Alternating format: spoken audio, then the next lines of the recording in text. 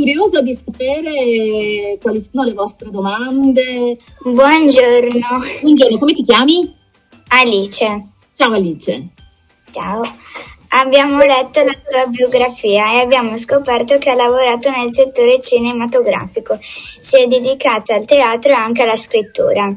Vorremmo sapere quando e come mai ha iniziato a scrivere libri per bambini. Bene, una bella domanda e avete curiosato su, nella mia biografia. Allora, ehm, diciamo che la prima, tra queste passioni, la prima è stata quella per il cinema, per i film che è cominciata presto, direi subito dopo quella per le fiabe, da, da bambina. Dopo il liceo oh, mi sono iscritta al DAMS, che è l'università per studiare cinema, teatro e arte. E quando ho frequentato l'università um, ho girato dei cortometraggi che sono dei piccoli film, mi sono un po' appassionata sempre di più. Però nel frattempo mi piaceva anche la scrittura, perché se uno vuole raccontare una storia uh, attraverso il mezzo cinema, anche se si tratta di un, una piccola storia, quindi un cortometraggio, prima bisogna scriverlo. Piano piano ho scoperto che la parte che mi piaceva di più di tutto questa, questo mondo era proprio la scrittura. Infatti ho fatto una tesi un piccolo libro che si prepara quando ci si laurea, quando si finisce l'università, proprio sulla sceneggiatura. E poi ho girato un cortometraggio e ho lavorato in una scuola. Nella mia storia eh, mi serviva una, dei ragazzini più o meno della vostra età, perché erano i, protagoni- i miei protagonisti da, da bambini, e um, ho regalato diciamo, un incontro a una classe eh, per parlare proprio di cinema. Ho mostrato dei cortometraggi, ho raccontato come funziona il montaggio, cioè prendere le scene e metterle insieme e l'entusiasmo di questi bambini mi è piaciuto tantissimo, mi ha coinvolto e non lo so, è scattato qualcosa per cui ho pensato forse sono i miei interlocutori preferiti, forse dovrei raccontare storie a loro. E così piano piano ho cominciato a scrivere delle storie per i bambini e insomma prima di arrivare a fare un libro è passato molto tempo, nel frattempo c'è stato anche il teatro, il teatro per bambini, spettacoli, laboratori teatrali e anche laboratori cinematografici in cui si scriveva insieme ai bambini una storia e si, si faceva diventare un, sempre un cortometraggio. E quindi piano piano, però il, la scintilla è scattata in quel momento, quando io sono entrata in una classe, proprio come la vostra, ho cominciato a parlare della mia passione cinematografica, del, di come si realizza un cortometraggio, i bambini mi facevano delle domande, hanno recitato una piccola parte per me e ho capito che c'era un, un, un feedback, qualcosa di positivo tra me e loro. E, insomma, da lì è partito tutto. Mi chiamo Agata. Ciao Agata. Ciao. Da piccola desiderava fare la scrittrice o sognava di fare qualche altro lavoro? Allora, da piccola no, non pensavo di fare la scrittrice. E avrei voluto fare l'insegnante. Mi piaceva il lavoro della, mi piace, mi piaceva il lavoro della mia maestra a scuola e avrei voluto fare quello che faceva lei. La passione per la scrittura è, è nata dopo. Ciao mamma. Cosa prova quando le viene l'ispirazione per scrivere un nuovo libro? Ah, il, il momento dell'ispirazione è un momento esaltante. È un po' come quando vi viene una bella idea per, per un gioco, un gioco da fare con i vostri amici. L'idea è quello da cui parte tutto, poi ci vuole anche molto altro, però la prima idea è veramente un momento esaltante, direi la parola giusta, perché mi, mi piace tantissimo e comincio a pensarci, a mettere insieme un'idea con un'altra, svilupparla e quindi è il momento di massima creazione, direi. Sono Matilde. Ciao Matilde. Scrive solo testi per bambini o anche libri per adulti? Grazie. Allora, eh, per bambini e per ragazzi un po' più grandi di voi. Eh, il, eh, insomma, lui, il mio libro, un giallo, che si chiama L'Orlando Investigatore ed è diciamo per l'età uh, il massimo dell'età a cui sono arrivata, quindi l'età delle scuole medie. Però mi piace, mi, piace, mi piacerebbe scrivere anche per ragazzi un po' più grandi. Per adulti, mh, per il momento, non, non mi interessano come lettori gli adulti mi, interessa, mi, interessano gli adulti che leggono i miei libri e che magari trovano qualcosa di interessante appunto sia nel giallo che nei, negli albi illustrati, però scrivere un libro solo per loro per il momento non è una cosa che mi interessa, mi, mi piacciono di più i ragazzi e i bambini. Ciao. Ciao, come ti chiami? Daniele. Daniele. Qual è la cosa più bella del suo lavoro? Allora, la cosa più bella del mio lavoro è eh, quello che stiamo facendo adesso, incontrare i lettori incontrare i lettori è bellissimo. Certo, anche l'arrivo del libro, l'arrivo del libro perché eh, immaginate di scrivere una storia da soli, soprattutto per un albo illustrato. Scrivete questa storia da soli e cominciate a immaginare quali potrebbero essere eh, i disegni mh, giusti per accompagnarlo, però dato che io non so disegnare assolutamente, le mie fantasie sono forse limitate rispetto a quelle di un, di un illustratore che fa questo di mestiere. E quindi quando poi la casa editrice sceglie l'illustratore giusto e arrivano i primi disegni, già eh, è bellissimo. Arrivare, eh, avere tra le mani il libro finito con uh, tutti i disegni, le illustrazioni, insomma la tua storia che è diventata un libro e che potrà andare nelle mani dei lettori è un momento molto bello. Però incontrare i lettori come voi è ancora più bello perché mm, è il momento in cui uno scrittore si accorge e si rende conto se, che il suo lavoro insomma, forse è servito a qualcosa, eh, ha interessato altre persone e, e siamo qui a parlarne. Quindi direi sì, incontrare voi è la cosa più bella. Ciao, ti chiami? Carlotta. Carlotta. Noi abbiamo letto il libro Il Maxi Tauro, abbiamo ascoltato l'audiolibro Il re che non voleva fare la guerra. Vorremmo sapere quale dei due racconti le è piaciuto più scrivere e perché. È difficile questa domanda, sai Carlotta. E dunque, Il re che non voleva fare la guerra è il mio primo libro, quindi sono, sono legatissima a questo libro mi è piaciuto scriverlo, certo, perché ho capito che era un'idea bella, però nello stesso tempo non, non, potevo immaginare che finalmente una mia idea, invece di essere un'idea per uno spettacolo teatrale, potesse diventare un'idea per un libro. E, però sì, mi è piaciuto scriverlo, ma anche bambini. Eh, mi è piaciuto scrivere anche questo. Faccio fatica a scegliere tra questi due perché forse avete visto a chi è dedicato avete letto a chi è dedicato, ai bambini di Taranto e a mamma e papà. Questo è un disegno che mi ha fatto l'illustratore, solo per me, che fortuna. E quindi Taranto è la città in cui sono nata e mamma e papà ovviamente sono i miei genitori a cui ho voluto dedicarlo perché eh, vivono ancora da quelle parti. E scrivere questo libro per me è stato importante perché parla sì di un mostro, però avete riconosciuto dalle immagini che non è un mostro qualsiasi, è un mostro che assomiglia a una fabbrica, una fabbrica che esiste davvero, un'acciaieria che inquina moltissimo la città. Quindi quando ho scritto questo libro l'ho scritto già pensando che sarebbe potuto diventare un libro e che avrei desiderato tanto che diventasse un libro perché in questo modo avrebbero potuto leggerlo in tanti, in questo caso anche gli adulti, spero, che possano essere colpiti da questa storia perché ehm, credo che sia importante far sapere che non tutti debbano essere uh, curati.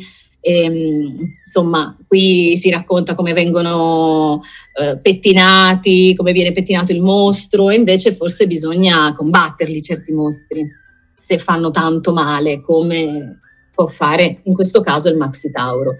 Quindi non so scegliere, mi è piaciuto scriverli entrambi e, e alla pari, diciamo. Ciao. Ciao, tu sei? Marica. Marica. Come è nata l'idea di scrivere il libro Il Maxi Tauro in cui gli abitanti di quelle parti lavoravano per un orribile mostro Ok, allora, eh, vi, ho, vi, ho, anticipato qualcosa nella risposta precedente. Ehm, sapete, l'ho scritto proprio durante il lockdown, quando c'era, quando è arrivato il Covid e hanno deciso di prendere le decisioni per noi. Era più importante stare chiusi in casa e magari non andare a lavorare perché la salute era in pericolo e quindi dovevamo stare in casa, ve lo ricordate? Siamo stati in casa per un bel po' di tempo. E eh, in quel momento mi sono ricordata una cosa che ricordo spesso, che a Taranto appunto c'è questa acciaieria che inquina moltissimo e che molti vorrebbero che fosse chiusa, perché appunto a causa di questa acciaieria, a causa dell'inquinamento, molte persone si ammalano. E allora ho pensato, forse questo, questa scelta di eh, chiudere eh, tutti i lavori e farci stare in casa per la salute, forse la faranno anche a Taranto, forse capiranno finalmente che è più importante la salute del lavoro. È importante il lavoro, importantissimo. Però se ci ammaliamo non possiamo neanche lavorare, quindi è più importante stare bene. E allora l'idea è nata in questo modo, ho pensato al mostro del Minotauro, lo conoscete? Il Minotauro, al Minotauro venivano dati in pasto dei, dei bambini, dei giovinetti, dei, delle giovinette e quindi ho pensato che potesse assomigliare un po' alla, a questa fabbrica che si, una volta si chiamava Ilva perché quelli che si ammalano più spesso sono proprio i bambini. E l'idea è nata così, ho fatto questa, questa associazione, ho messo vicino il Minotauro e la fabbrica ed è nato il Maxi Tauro. E poi le immagini le ha date appunto Marco Paci, che è l'illustratore, e secondo me è stato molto molto bravo perché ha dato proprio l'idea di un mostro, ma nello stesso tempo ha dato l'idea della fabbrica. A voi sono piaciute le illustrazioni di questo libro? Vero? Sì.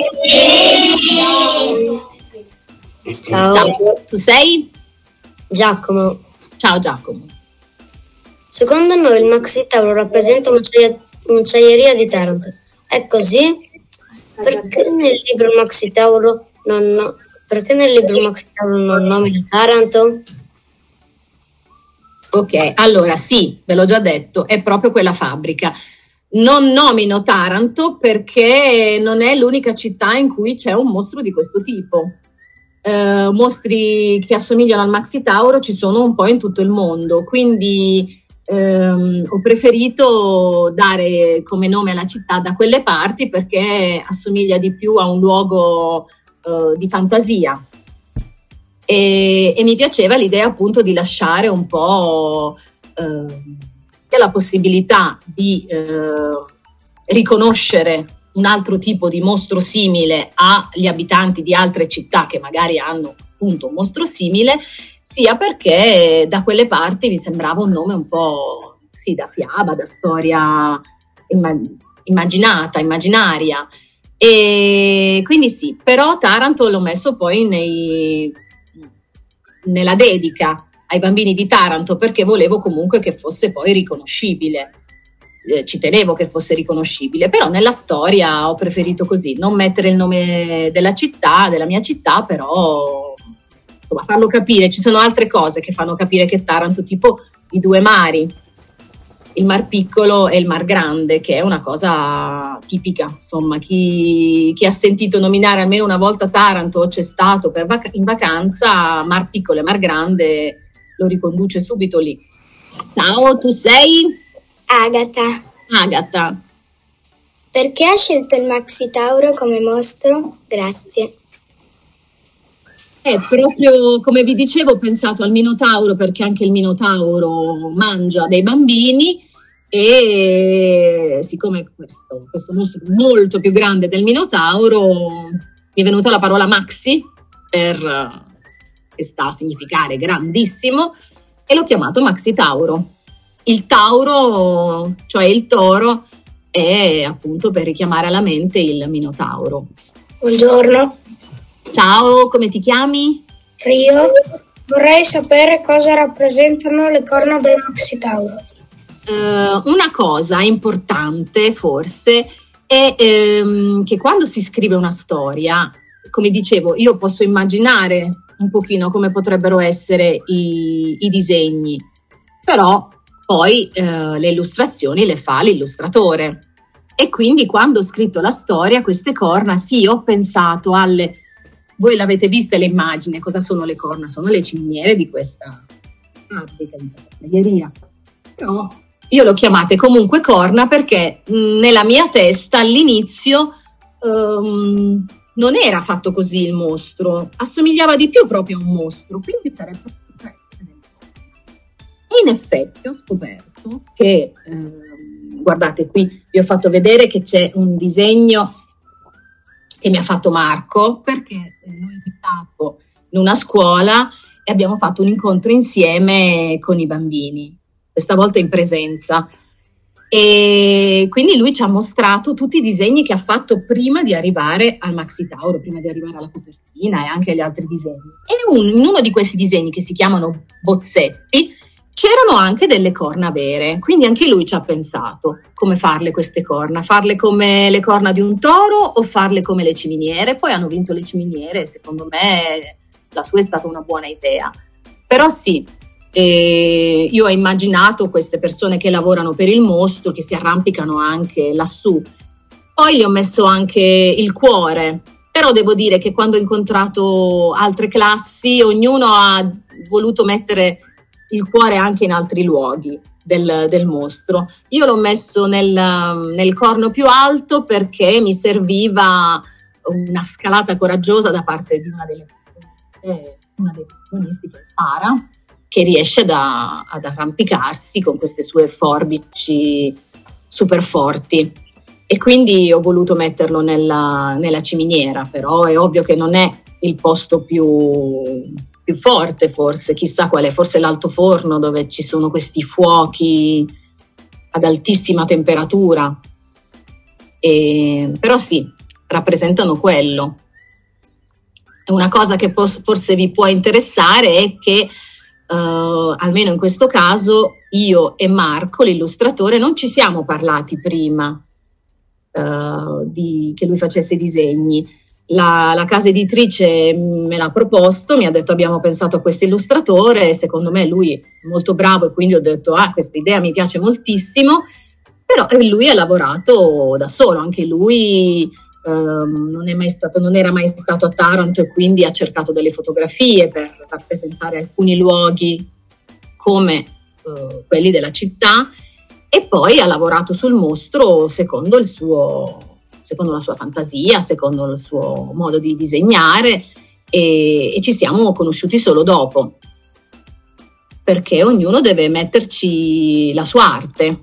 Io lavoro con le parole e lui lavora con le immagini. Ciao, come ti chiami? Uh, Siria. Siria, ciao. Uh, cosa sono le bollicine bianche che il Maxi Tauro sputacchiava? Allora, le bollicine bianche non ho pensato a qualcosa legato alla, all'acciaieria. Ho pensato a qualcosa di, di mostruoso, di bava bianca, ehm, davvero ho immaginato una bocca che, che mangia e che si arrabbia, quindi ho pensato più al mostro in quel caso. Però chissà, chissà, io non sono mai stata dentro questa fabbrica. E ci ha lavorato il mio papà, uno dei motivi per cui sono legata a questa storia. E, ehm, però si, ci sono molti luoghi in cui ci sono dei pericoli, perché oltre a uh, ammalarsi le persone per l'inquinamento è anche pericoloso lavorarci. Infatti c'è quell'immagine dove c'è molto rosso, il rosso del pelo che però è anche il rosso del fuoco.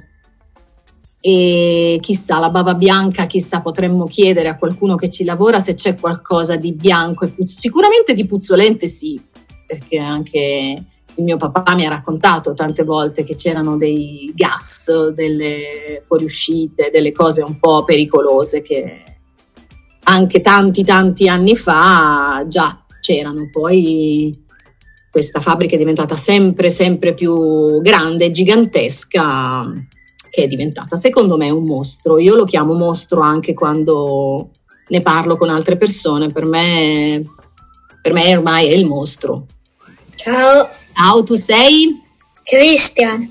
Ciao Christian. Come mai vengono scelti solo i bambini come vittime da dare in pasto al mostro? Come mai? Mm, chissà, perché ho scelto di dare in pasto al mostro i bambini. Come vi ho detto, anche gli adulti sono in pericolo perché quando lavorano dentro al mostro possono capitargli delle cose non belle, ma i bambini sono quelli che vengono sacrificati. Perché penso che spesso proprio i bambini che non hanno colpa perché non hanno scelto di lavorare lì o di vivere in quella città o di abitare in una casa proprio di fronte al mostro, sono quelli che subiscono di più le scelte degli adulti. E siccome a Taranto sono proprio i bambini che si ammalano di più, forse perché stanno ancora, il, il loro corpo si sta ancora formando e quindi si ammalano bambini di tumore. E, e la malattia che colpisce in varie parti del corpo, anche bambini piccolissimi. E, e poi quindi volevo che fossero i bambini per far aprire un po' gli occhi agli adulti. E poi davvero appunto a Taranto si, si ammalano molto i bambini. E anche il Minotauro mangiava i bambini.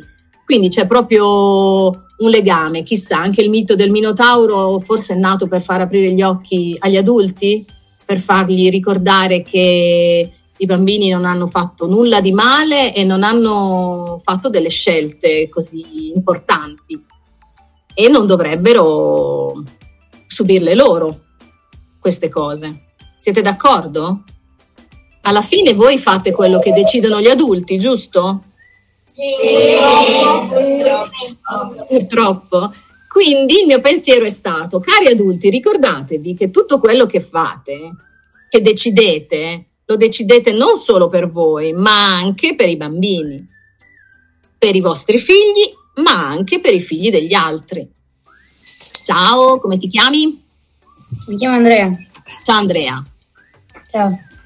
Eh, dal libro Maxi Tauro si intuisce che gli adulti si sono dimenticati che l'unione fa la forza, mentre i bambini sanno bene che bisogna essere uniti per sconfiggere i mostri. Lei pensa davvero che sia proprio così? Eh sì, io lo penso davvero. Lo, non tutti gli adulti, ovviamente, eh, come non tutti i bambini eh, stanno sempre insieme, però cioè, sconfiggono le cose insieme. Però se guardiamo tutti gli adulti e tutti i bambini, io penso che molti adulti si sono dimenticati e invece i bambini lo sanno ancora, perché secondo me se voi avete un problema o un momento triste, ehm, sapete che un vostro amico vi può aiutare. Gli adulti invece non, non hanno più questo, non lo so, li vedo un po', forse per questo che scrivo per voi perché gli adulti mi sembrano un po' persi certe volte nelle loro idee di grandezza, diciamo così. Ciao, come ti chiami? Viola. Ciao Viola. Come è nata l'idea di scrivere il libro Il re che non voleva fare la guerra, che parla di un re pacifico diverso da tutti gli altri re? Bene, allora, come vi dicevo, questo è stato il mio primo libro e prima di questo libro ho scritto tante storie per gli spettacoli, eh, però una mattina molto molto presto, e visto che conoscete la storia, sapete che è importante questa cosa dell'orario, erano proprio le 5 del mattino, l'orario dell'alba, mi sono svegliata con questa idea di un re che non vuole fare la guerra ma che è costretto a partire per la guerra. E allora mi sono alzata e sapete quando dovete fare qualcosa per forza, anche se presto e il sonno ormai era sparito, mi sono messa a scrivere. E ho capito mentre scrivevo questa storia che questa volta non era una storia per uno spettacolo, era una storia per un albo illustrato. E, infatti ho avuto ragione perché sono riuscita a farla diventare la storia per un albo illustrato. E, ehm, c'è da dire che ovviamente io sono un po' come, come questo re, sono pacifista, la guerra non mi piace e voi lo sapete che la guerra è brutta. Adesso purtroppo siamo di nuovo in una situazione che ci fa pensare di nuovo alla guerra. E, um, mi piace che ci sia ancora questo libro che è uscito qualche anno fa perché sono convinta che Re Fiorenzo possa essere un simbolo non c'è bisogno di fare la guerra. Re Fiorenzo parte, ma riesce a scegliere sempre di rimanere se stesso, di rinunciare alla guerra anche quando incontra un, uh, un paese più piccolo che potrebbe tranquillamente conquistare. A lui non interessa, finché non arriva a, a conoscere un altro re come lui. Quindi Re Fiorenzo non è l'unico che non vuole fare la guerra, ce n'è un altro.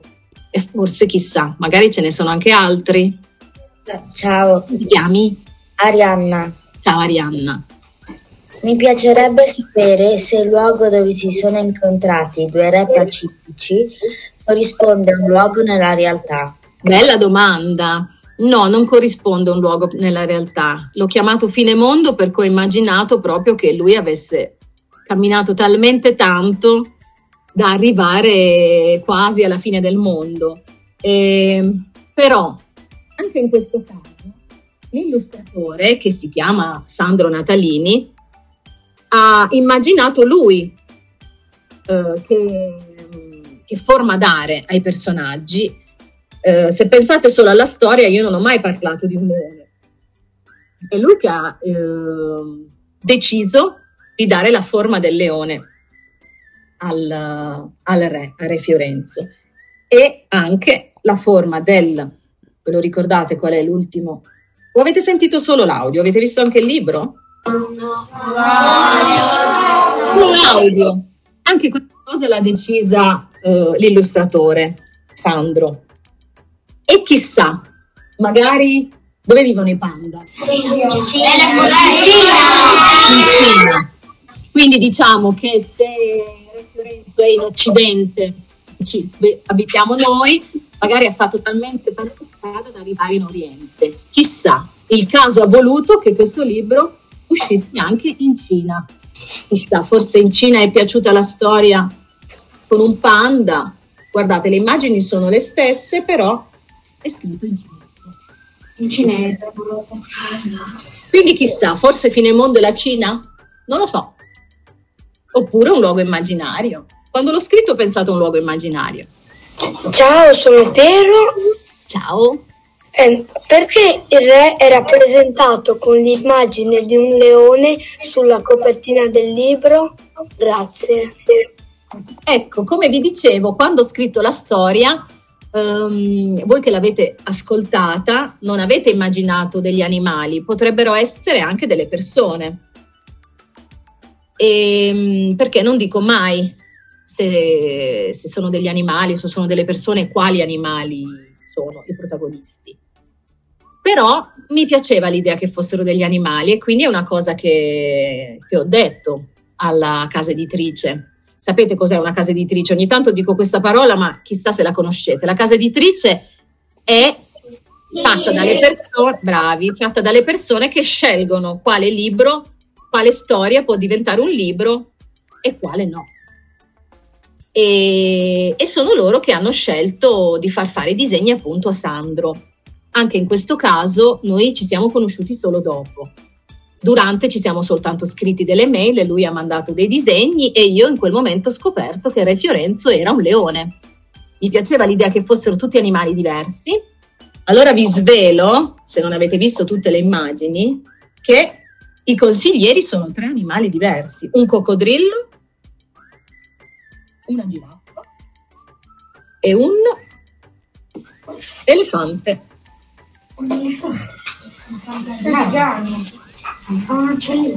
Quindi sono tutti diversi. E, ehm, sì, la, la zebra anche conoscendo Sandro che è un animale che a lui piace molto, quindi ehm, ha messo la zebra proprio perché gli piace disegnarla però è anche particolare che invece di essere un cavallo come uh, tutti i cavalli, fosse un, un, cavallo particolare, perché la zebra assomiglia molto a un cavallo, no? solo che è fatta in un modo così diverso, così strano, con questi due colori, con queste, sapete che le strisce delle zebre non sono mai tutte uguali, ogni zebra ha strisce fatte in un modo diverso. Come ti chiami? Daniel, Daniel, ciao Daniel. mm, quanti libri ho scritto? Pensa di scriverne ancora? Eh sì, allora ne ho scritti sei, adesso ve li faccio vedere. Allora, il primo è il re che non voleva fare la guerra. Poi ho scritto una mappa dei mostri. Eh, mi piacciono un po' i mostri, eh. questa è proprio una mappa che si apre e diventa bella grande. C'è un- il mondo dove ci sono tutti i mostri che ci abitano e svelo un po' di segreti sui mostri. Poi ho scritto una cosa legata più al mio lavoro col teatro, un abbecedario teatrale dove ci sono dei giochi teatrali che si possono fare, anche qui ci sono delle illustrazioni. Poi ho scritto una storia per i bambini che imparano a leggere, quindi, ah, guardate c'è la mia gatta che passeggia, si chiama Giulia. voleva farsi vedere, che si chiama Temi da paura per i bambini di prima e seconda elementare che imparano a leggere, quindi vedete ci sono le illustrazioni e anche le paroline scritte un po' grandi, voi ormai siete grandi. Poi c'è il Maxi Tauro, che avete letto, quindi sei in tutto, ma sì, voglio continuare a scrivere, certo. Voglio continuare a scrivere, sto scrivendo altre cose e vediamo se riusciranno a diventare dei libri, anche per ragazzi un po' più grandi. Magari quando voi sarete più grandi ci sarà un libro per, per la vostra età. Andiamo, andiamo insieme, viaggiamo insieme. Voi diventate grandi e io scrivo un libro per eh, ragazzi di 14 anni, per esempio. E ci incontriamo di nuovo e parliamo di nuovo delle storie. Vi piacerebbe? Piace come idea? Ok. No, qualcuno ha detto no. E qualcuno ha detto no per contraddistinguersi. Eh, certo. Beh, è giusto, ognuno, Chi vuole ognuno ha le sue idee, anche il Re Fiorenzo diceva no. I Eh, consiglieri lo volevano mandare a fare la guerra e lui diceva di no, quindi è giusto che ci siano anche dei no. Ciao. Perché nelle illustrazioni il pelo è rosso? Cioè, nella prima illustrazione il pelo è nero e poi è rosso. Ok, allora le, le domande precise sull'illustrazione bisognerebbe farle a Marco, però eh, nella storia io parlo di pelo rosso, anche il filo l'avete visto che è rosso, perché ehm, una delle componenti di questo inquinamento è proprio una polvere rossa. Il, um, eh, il quartiere che abita, il quartiere che è proprio di fronte a questa, questa acciaieria che si chiama Tamburi, che è proprio dove c'è l'ospedale dove sono nata io. E ha le- tutti i balconi, le pareti, dappertutto polvere rossa, che è polvere che inquina, che fa ammalare. Pensate che le scuole eh, di quel quartiere, molto prima che arrivasse il Covid, ogni tanto venivano chiuse. I bambini non potevano andare a scuola perché quando c'era un vento particolarmente forte eh, alzava questa polvere, insomma alza tuttora perché purtroppo tuttora è così, non è cambiato nulla e mm, è una polvere rossa che se eh, la respiriamo, insomma, mm, non ci fa tanto bene, fa ammalare i polmoni e non solo. Quindi il rosso, mm, il pelo rosso, diciamo, ho inventato il pelo rosso ricordando questa polvere rossa. Poi il nero penso che l'abbia messo per il fumo, quindi molto fumo e pelo rosso, insomma, ha usato anche, avete visto che ha usato due colori in particolare. All'inizio c'è molto rosso, anche qui c'è il fumo, c'è questa immagine appunto degli operai nel rosso. Rossa. E alla fine invece qual è il colore che piano piano prende piede al posto del rosso? Bravissimo, il blu. E l'immagine finale, questo sarebbe proprio l'immagine del quartiere Infatti, guardate, ho fatto questo, questo piccolo gioco perché poi mi piace giocare con le parole. Il suono dei tamburi, tamburi è l'ultima parola che ho messo nella mia storia, che è il nome del quartiere. E poi questa bellissima immagine con il mare, perché sapete, Taranto non solo ha due mari, ma un mare bellissimo, la costa, e all'orizzonte non c'è più. Questo è il desiderio della maggior parte dei tarantini. E, mm, quindi sì, il rosso per quello, però è molto bello questo uso del colore secondo me, passare dal rosso al blu e poi metterlo anche alla fine, guardate sono uguali, questo, questo azzurro blu e il rosso all'inizio. Come vi dicevo io uso le parole e Marco invece usa le immagini, i colori, la matita, che sono tutti disegnati. Io ho visto tutti i bozzetti, sono tutti disegnati con una matita nera e poi colorati, con questi soprattutto tre colori, anche il giallo, delle fiamme. Qui ci sono le fiamme. È bella la copertina, vero? Moltissimi bambini dicono. Bravo, sì. Un altro gioco che ho fatto, chissà, voi siete grandi, potreste farlo questo gioco. Ehm, nel, nel mito del Minotauro ci sono due protagonisti che riescono a sconfiggerlo. Sono Teseo e Arianna. Non so se la conoscete un pochino questa storia.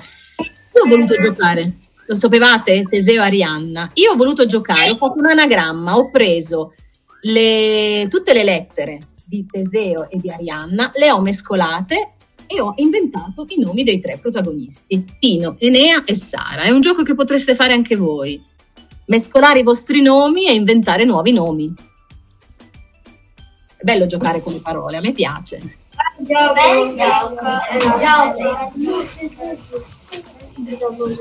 Ciao, sentiamo. Eh, nella storia dice che quasi nessuno guardava mai a sud, però dopo dici anche che quasi tutte le persone di Taranto lavoravano per il Maxi Tauro che viveva a sud. Eh, Sì, certo. Allora, quando si racconta una storia che è un po' inventata, un po' di fantasia e un po' è vera, eh, bisogna ehm, scegliere cosa raccontare di vero e cosa inventare. Il tempo anche il vento. Come vi ho detto prima che certe volte a Taranto, nel quartiere Tamburi, bisogna mh, chiudere le scuole perché c'è un vento forte. Li chiamano proprio wind day, i giorni di vento. Invece nella storia il vento è positivo.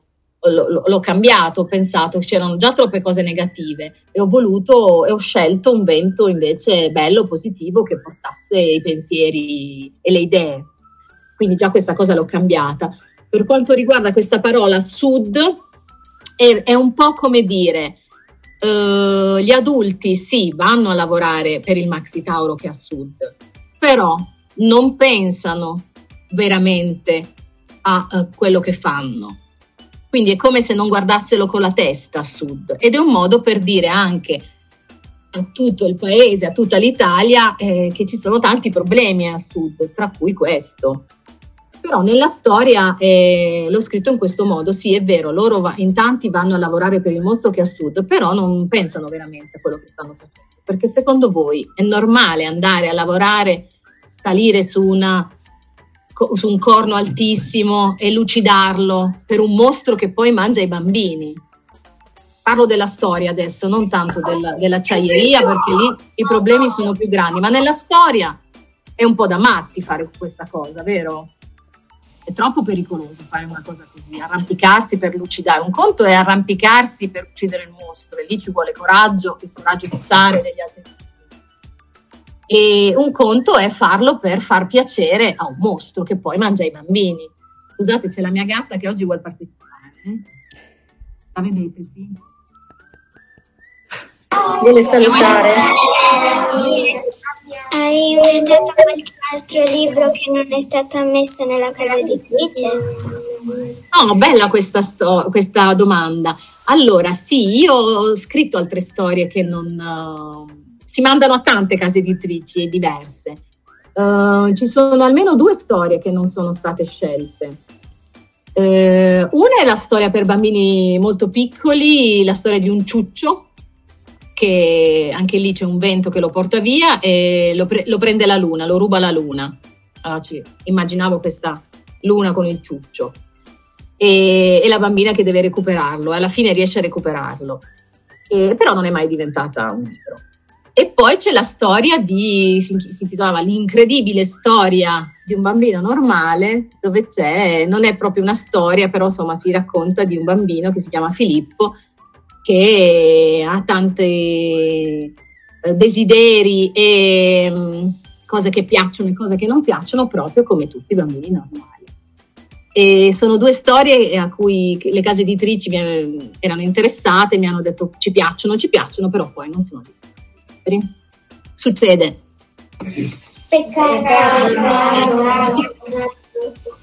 Ciao, io mi chiamo Ludovica. Ludovica? Sì, quanti anni avevano i tre bambini Sara, Enea e Tino? Non ho capito l'inizio della domanda. Quando? Quanti anni avevano Ah, quanti i, anni avevano? i bambini Eh, Tino e Sara? Sì, non... No, ho immaginato la vostra età più o meno. 9 anni, 9-10 anni. Voi avete 9-10 anni più o meno, vero? Io li ho immaginati di quell'età lì. Non lo so se nei disegni, nei disegni più o meno, che dite? Sì, potrebbero avere la vostra età. Avete visto questa immagine? Molti bambini hanno chiesto.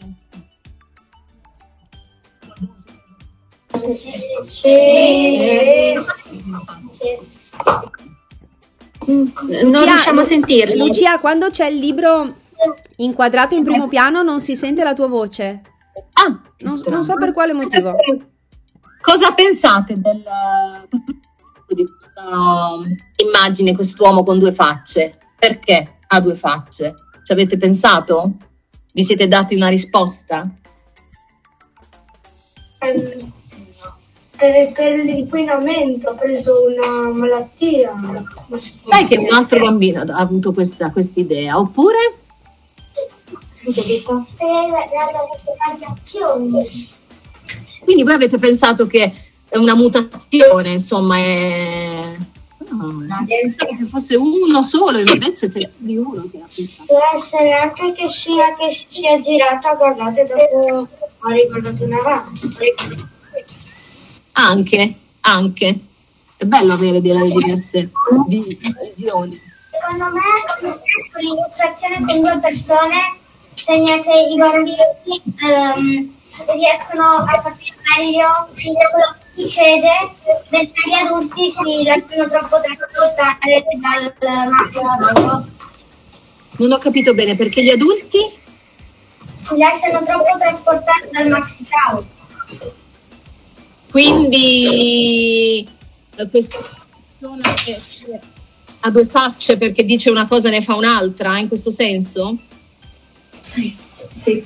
Sì, Perché, sì. eh, io, io, per esempio ho pensato a questo, ho pensato, sì, è la- quando si dice di una persona due facce, dice una cosa e poi ne fa un'altra.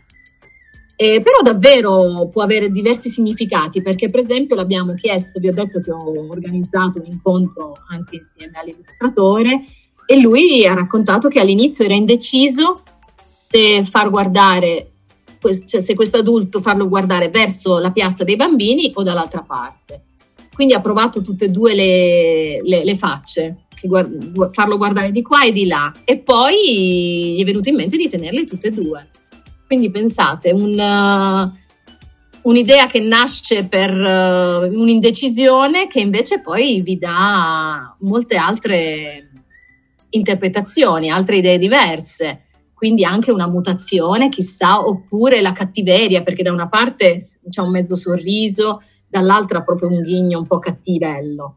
Non, non, non nuovo perché avete detto che non si sente più il- l'audio. Eh, però sì, ehm, sono cose interessanti secondo me. A me anche, anch'io quando ho incontrato Marco ho- avevo delle domande da fargli perché alcune scelte, come dicevo, sono fatte dal da chi disegna E- ed è interessante sapere come è arrivato a, a scegliere un disegno piuttosto che un altro. Come io scelgo una parola piuttosto che un'altra, lui fa la stessa cosa con i disegni, fa tante prove e poi sceglie. E sono contenta che abbia scelto tutte e due queste facce perché vedete un po' quante idee voi avete pensato appunto a questa mutazione, può essere, chissà. Ciao. Ciao, quando sei nata e quanti anni hai? Oh, domanda proprio personale. Allora, io sono nata il 30 aprile, quindi tra un po' sarà il mio compleanno, un più di un mese, e ho 49 anni, quindi tra un po', poco più di un mese ne faccio 50, cifra tonda. È un numero che fa un po' paura a noi grandi, 50. Sono tanti. Che dite, sono tanti? Sì. La mamma del più. Sì, in questo caso vengono fuori tutte le età delle mamme, delle nonne, delle zie. È un classico. Comunque sì, era solo quando sono nata, giusto? Dove lo sapete? Perché sono nata a Taranto. Però non mi avete chiesto dove abito, ecco. Aveva già in mente delle mm, storie che poteva raccontare Nea per distrarre il Maxi Tauro? Oh, che bella domanda. Nessuno mi aveva mai fatto questa domanda. No, non ce l'avevo in mente. Ho, ho immaginato che le avrebbe inventate lui. Ho dato tutto in mano al personaggio. Ho, ho pensato a questo bambino un po' chiacchierone, però bravo. Sapete, non so se, se in classe ce l'avete, un compagno o una compagna così, che gli piace molto chiacchierare, ma non raccontare di sé. Ci sono delle persone che raccontano, sono più adulti. di. E- ma proprio inventare le cose e saperle raccontare bene. E quindi non ho immaginato come o cosa raccontasse. E ho pensato solamente a- al suo carattere e poi eh, avrei dato in mano tutto a lui. Dai, vai, sconfiggi il Maxi Tauro, imbambolalo con le tue parole. E così, insomma, per, per aiutare gli amici in questo progetto. Però no, non ho, non ho immaginato cosa potesse raccontare. Chissà, cosa si può raccontare? È difficile. Cosa si può raccontare un mostro di quel tipo per, per riuscire a distrarlo? Un po' i complimenti, quelli li ho scritti. I complimenti, come sei bello, come sei grande, sono contento di essere qui con i miei amici, eh, così insomma da fargli come, come succede a quelli, alle persone molto egoisti che pensano solo a se stesse, fargli tanti complimenti fa piacere talmente tanto che, che si distraggono. Però poi ci vuole anche qualcos'altro, quindi chissà che cosa avrà raccontato. Ah, pensateci, questo potrebbe essere un altro gioco da fare. La storia che Enea racconta per, um, per distrarre il mostro. Quanti anni hai vissuto a Taranto? Quanti anni ho vissuto a Taranto? Fino a 19 anni, quando poi mi sono iscritta all'università e sono andata a Bologna. Abitavo in un paese in provincia di Taranto che si chiama Statte, che adesso non è più in provincia ma è un paese, un comune. E ogni volta che per andare a scuola, per andare al liceo, prendevo l'autobus che passava proprio davanti alla fabbrica, che ancora non si chiamava Ilva all'epoca, si chiamava Italsider. E, e la vedevo tutti i giorni. E quando si passava lì davanti, comunque ci si tappava il naso perché la puzza c'era. L'inquinamento era un pochino meno, le, le persone si ammalavano un po' meno rispetto a quello che è successo dopo perché si è ingrandita, perché ci sono stati tanti problemi. Però sì, la vedevo tutti i giorni, si passava davanti, era una cosa quotidiana, non ci si faceva neanche più caso. Quando ho iniziato a scrivere? Quando ho iniziato a scrivere, scrivere per piacere, diciamo, non eh, perché ho imparato a scrivere. Allora, anche se non pensavo di, non desideravo fare la scrittrice, però scrivere mi è sempre piaciuto. Quindi forse non alla vostra età, un po' più grandicella, alla vostra età magari mi piaceva scrivere i temi, quindi una cosa di scuola, ma fuori dalla scuola, diciamo alle scuole medie, 12 anni, scrivevo, inventavo delle storie con, con le mie amiche, inventavo magari insieme, io scrivevo una, un- una, una storia a puntate, io scrivevo una puntata e la mia amica ne scriveva un'altra, poi io ne scrivevo due, lei sempre solo una, poi ne scrivevo tre, sempre, ne scrivevo sempre due. Poi anche al liceo mi piaceva, mh, ho tanti quadernini eh, con ehm, viaggi, non viaggi lontani, viaggi, vacanze, piccole anche piccole vacanze, sempre con le amiche, dove si scriveva tutto quello che facevamo, ma cose sciocche, cioè siamo alzate a quest'ora, eh, colazione, oppure abbiamo incontrato questa persona, abbiamo fatto una nuova amicizia, siamo stati in mare, questo mare è più bello di quest'altro, insomma cose anche sciocche, battute, cose divertenti per far ridere poi le amiche, però sì, direi che più o meno a 12 anni ho cominciato a scrivere perché mi piaceva, ma lo facevo solo per me e le mie amiche, non facevo leggere a nessuno le mie cose. E poi piano piano, come vi ho raccontato, ho cominciato a scrivere delle storie da sviluppare o in cortometraggi oppure dopo in spettacoli. E lì, insomma, farle leggere agli altri era importante, o comunque farle sentire, farle vedere alle altre persone. Come si chiamava eh, l'altro re Pacifico? Allora, io non ho dato un nome, ehm, anche perché, come vi ho detto, mi piaceva l'idea che fossero degli animali, e, però non sapevo se, se sarebbe poi stato così, se alla casa editrice eh, poteva piacere questa idea di usare gli animali e soprattutto quali animali. Quindi l'ho lasciato senza nome. E anche perché l'unico che ha un nome è il protagonista, Re Fiorenzo, il più importante. E ho dato un nome solo a lui, quindi non lo so. Dopo che mh, è uscito il libro, quindi ho scoperto che il re di Finemondo è un panda, da allora lo chiamo Re Panda. Sapete, il- se, se date un'occhiata al, al mio sito internet ci sono delle fotografie e la storia di- del re che non voleva fare la guerra è diventato poi uno spettacolo e ci sono dei pupazzi, ci sono delle immagini con i pupazzi e c'è anche il panda, Re Panda e Re Fiorenzo che assomigliano molto alle, alle immagini del libro, alle illustrazioni. Se, col- se la maestra vuole fare una ricerca e poi farvi vedere delle immagini, troverà forse anche il video. Se ho il video vi mando il link, vi faccio vedere i personaggi che si muovono. Se guardi attentamente nella seconda pagina illustrata del Maxi Tauro, dietro la, dietro la fabbrica c'è una sagoma e sembra un coccodrillo. Pensa- chiedevamo se era, era fatta apposta. Allora, nella seconda pagina, questa, No, un'altra. questa, Sì, là dietro. Quale?